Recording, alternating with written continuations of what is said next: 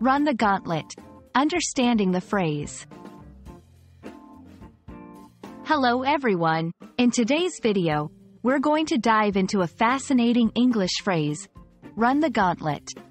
This expression has a rich history and is used in various contexts. So let's explore its meaning and usage together. Run the gauntlet originated from a severe form of punishment in the military. The term gauntlet in this context refers to two rows of soldiers who would beat a person forced to run between them. This practice was a form of punishment in various European armies.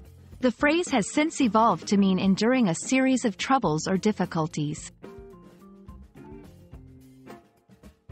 In modern times, running the gauntlet is often used metaphorically. It refers to experiencing a series of challenges, criticisms, or hardships.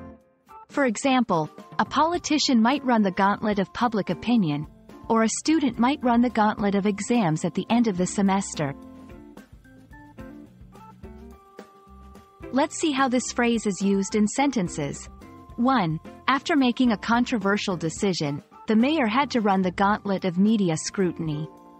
2. Starting a new business can feel like running the gauntlet, with so many hurdles to overcome.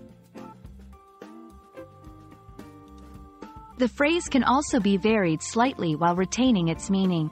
For instance, go through the gauntlet, or face the gauntlet, are often used interchangeably with run the gauntlet.